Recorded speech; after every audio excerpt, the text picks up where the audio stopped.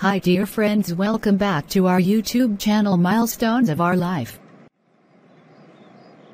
In today's video, we will discuss about what is coronavirus, symptoms of 2019 novel coronavirus disease or COVID-19, and also prevention and treatment. As we all know, prevention is always better than cure. And better awareness will help us to protect ourselves from this kind of viruses. I have taken all the information from WHO official site. Dear friends, this video is only for your awareness and should not be used for the diagnosis or treatment of the condition. Always consult a doctor or other healthcare professional for the diagnosis and treatment of medical conditions. Hello Barrow. Good morning. Oh, Miss Green. Good morning. Are you alright? You look so worried. What's the matter, dear? Oh, Miss Green, for the last few weeks I heard a lot about coronavirus. I heard that the current outbreak of this disease was first reported from Wuhan, China, on the 31st of December 2019. But I don't have a clear idea about it. To be honest, I am really worried about this disease. And how we can stay safe from this illness. Oh. Are you going somewhere urgently? Oh no dear. I can stay back with you and I can explain some details to you. Thank you so much Miss Green. You are so kind.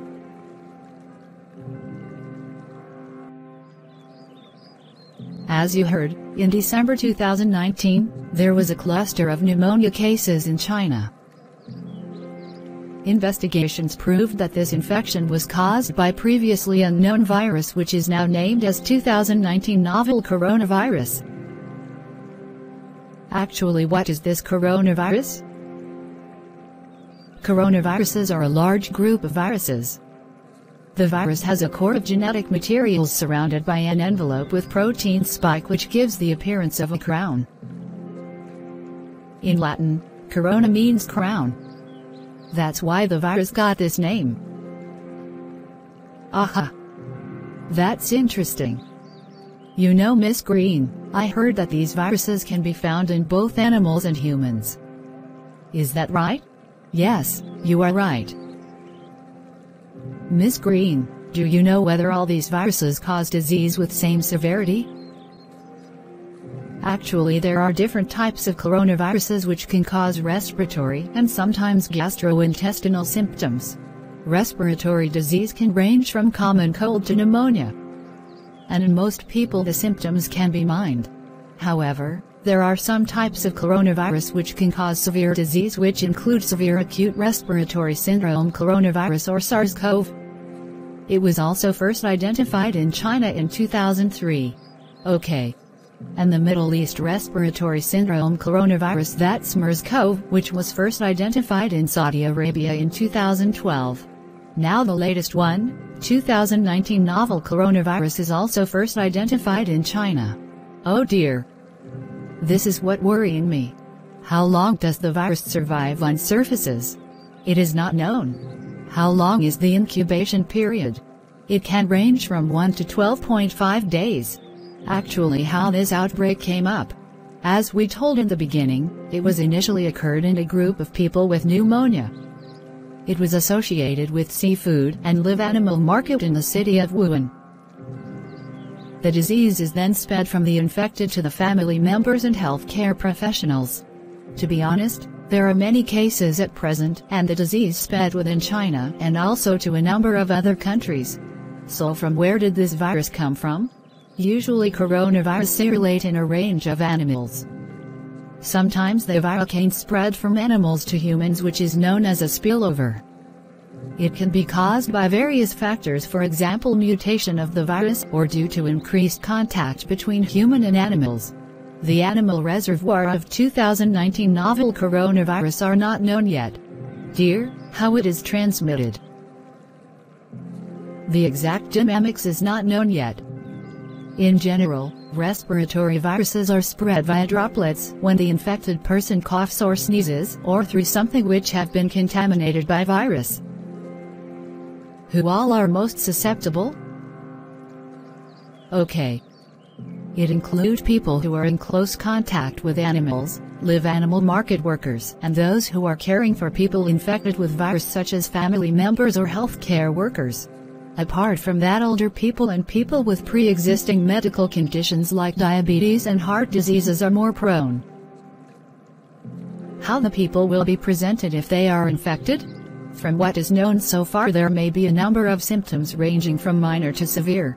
There can be fever, respiratory symptoms such as cough and shortness of breath. In more severe cases there may be pneumonia, kidney failure and death. The mortality rate is not known yet, so it is very very dangerous. Oh! How this illness is diagnosed? By a test called PCR or polymerase chain reaction. Is there any treatment available? Actually, there is no specific medication but the treatment is mainly supportive care. Is there any vaccine available to prevent this illness? Not really. Treatment and vaccines are in development. Do you mean that the antibiotic is not effective in treating or preventing this virus? Yeah. Antibiotics do not work against viruses. The novel coronavirus is a virus. And therefore antibiotics should not be used as a means of prevention or treatment.